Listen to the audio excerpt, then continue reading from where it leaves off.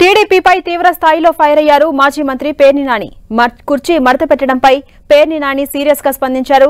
రెండు వేల పంతొమ్మిదిలోనే టీడీపీని ప్రజలు కుర్చీలా మడత పెట్టారంటూ ఘాటుగా వ్యాఖ్యలు చేశారు. రెండు వేల ఇరవై నాలుగులో కూడా ఇదే సీన్ రిపీట్ అవుతుందన్నారు. అలాగే అద్దెకు తెచ్చుకున్న కుర్చీలను స్టేజ్ మీద మడత పెట్టినంత మాత్రాన ప్రజల గుండెల్లో జగన్కు ఉన్న సుస్థిర స్థానాన్ని ఎవరు తొలగించలేరన్నారు పేర్ని నాని.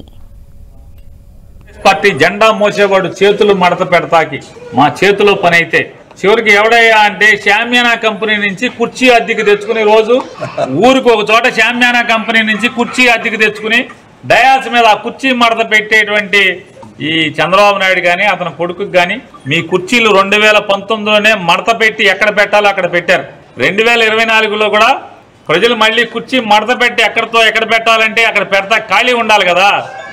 కాబట్టి మీరు శామ్యానా కుర్చీని శామ్యానా కంపెనీ నుంచి కుర్చీ తెచ్చుకుని టెంట్ హౌస్ నుంచి కుర్చీ అద్దెకి తెచ్చుకుని మీరు మడత పెట్టినంత మాత్రాన.